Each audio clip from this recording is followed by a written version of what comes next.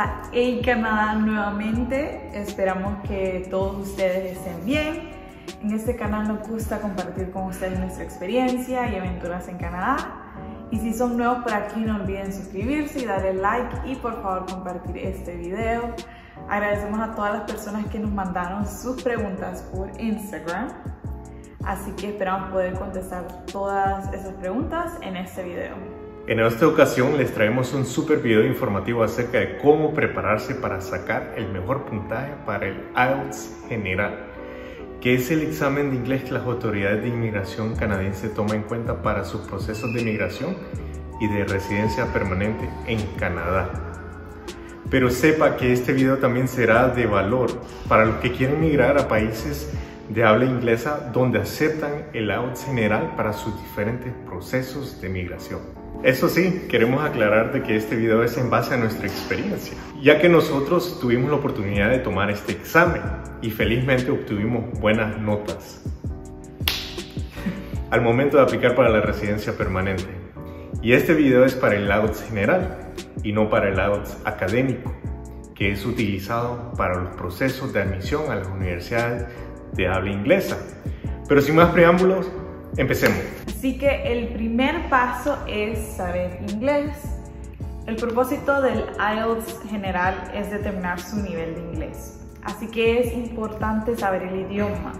Usted ocupa tener el conocimiento de la pronunciación, la ortografía y la gramática de inglés, ya que se le evaluará el idioma en diferentes secciones, donde usted escuchará audios y contestará preguntas, leerá artículos y pasajes y luego responderá a preguntas. Tendrá que escribir ensayos y por último usted tendrá una conversación en inglés con un evaluador oficial. Así que le recomendamos que si usted no sabe inglés o tiene un nivel básico, que considere enrolarse en un curso de inglés en su comunidad.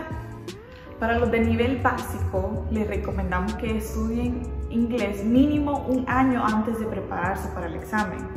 Y para los que ya saben inglés o tienen un nivel medio o avanzado, les recomendamos que se preparen para este examen por lo menos de uno a tres meses. Incluso nosotros que varios años hablando inglés, cuando tomamos el examen de práctica para evaluar y ver cómo estábamos, no sacamos las notas más altas, así que hay que estudiar, hay que prepararse. Así que es de no confiarse. El Express Entry, el programa para obtener la residencia permanente en Canadá, entre más alto su puntaje en el examen de inglés, más puntos le darán en idioma. ¿Quiere saber en qué nivel está usted en estos momentos? Vaya al link en la descripción, ahí hay una prueba gratis que le dirá su puntaje y su nivel después de tomarlo. Como paso número 2 es el formato. Como segundo paso es de familiarizarse con el formato del examen. Aquí le daremos una idea de cómo es el examen. Esto le ayudará a usted a prepararse de una mejor manera. El examen tiene una duración de 2 horas y 45 minutos. Las habilidades que se evalúan son listening, escucha, reading, que es lectura, writing, escritura, speaking, que es hablar. En la sección de listening, usted escuchará audios y luego responderá preguntas acerca de lo que escuchó en el audio. Aquí usted tendrá aproximadamente 30 minutos para responder 40 preguntas. Esta sección está dividida en cuatro partes. En las cuatro partes usted escuchará una o dos personas teniendo una conversación acerca de un tema general o algo relacionado a estudios, o a la universidad. Es importante avisarle que esta sección escucharán personas con diferentes acentos. Los acentos de los audios son inglés americano, inglés australiano, inglés británico inglés de Nueva Zelanda. Para nosotros, esta fue la sección más difícil. Así que fue a esta sección de listening a la que le dedicamos más tiempo al momento de prepararnos. La segunda parte es reading. Esta parte del examen dura 60 minutos. El reading será evaluado en tres partes donde leerá pasajes de temas de interés general. Por ejemplo, temas relacionados a trabajos, avisos de anuncios o avisos de horarios en una universidad. Las preguntas son de opción múltiple, verdadero o falso, de parío, de completación o respuestas cortas. La tercera parte es escritura. En esta sección usted tendrá una hora para hacer dos ensayos. En la primera tarea tendrá aproximadamente 20 minutos y usted tendrá que escribir uno o dos párrafos de 150 o más palabras. Aquí usted escribirá acerca de algo del diario vivir. Para el segundo ensayo tendrá 40 minutos y tiene que ser de 450 o más palabras. Aquí ocupará escribir cuatro más párrafos donde responderá una pregunta, donde dará su opinión o comparar dos eventos o dar ventajas o desventajas acerca de un tema. Esta sección para muchos es la más difícil. Esta sección fue donde más nos quitaron puntos porque no la practicamos lo suficiente.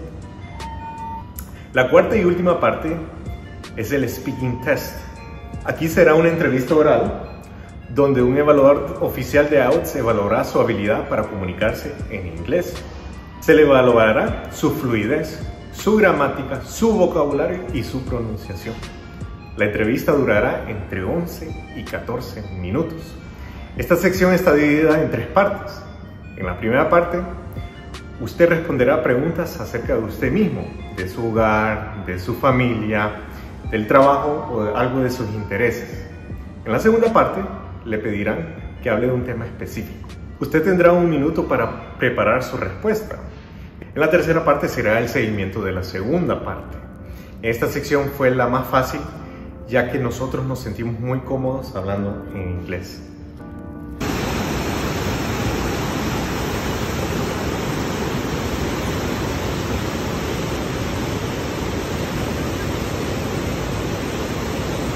Tercer paso para poder ir por esa nota alta es tener las herramientas y recursos adecuados para prepararse para este examen y obtener un puntaje alto. Le recomendamos que compre los libros para prepararse para este examen. Nosotros personalmente utilizamos libros y exámenes, exámenes que encontramos en Amazon como estos libros Barron's IELTS General, Kaplan IELTS General y los libros oficiales del IELTS que son libros de Cambridge y le vamos a dejar en la descripción los links a estos libros. Estos libros son muy buenos ya que le detallan el formato del examen. Traen muchos ejercicios para poder practicar y también los exámenes se asemejan muchísimo a la experiencia real. Si usted está en Canadá o en un país de habla inglesa, se puede conseguir estos libros muy probablemente en su biblioteca local y pedirlos prestados y así no tener que gastar. También hay cursos en línea donde brindan cursos de preparación para este examen en específico. Eso sí, a nuestro parecer estos cursos son demasiado caros pero entendemos que muchas personas eh, prefieren este tipo de cursos con instructores personales o en un ambiente en grupo. Y también recuerde que usted lo puede hacer en su casa, simplemente échele ganas.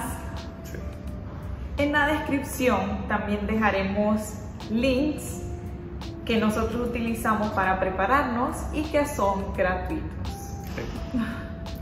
Ok, vamos al paso número 4 que es práctica y tiempo. ¿Has escuchado el dicho muy conocido en América Latina que dice, la práctica hace al maestro? En este caso tiene mucho sentido, ya que para obtener los mejores puntajes en esta prueba usted ocupa práctica y tiempo. Usted tiene que practicar todas las secciones ya que todas son importantes. Sepa que todas las secciones empiezan con preguntas fáciles y todas terminan con preguntas de un nivel avanzado.